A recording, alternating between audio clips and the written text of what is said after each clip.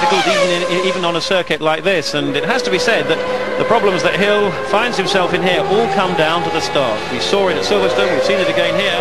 It's not easy. Ah, Aqua has gone! That, that's it! A Renault engine has gone! We don't expect that to happen, but it has happened and it has. Poetic justice happened to Damon Hill, who takes the lead in Germany. He's never won a German Grand Prix, but sympathise, please, please sympathise with Gerhard Berger.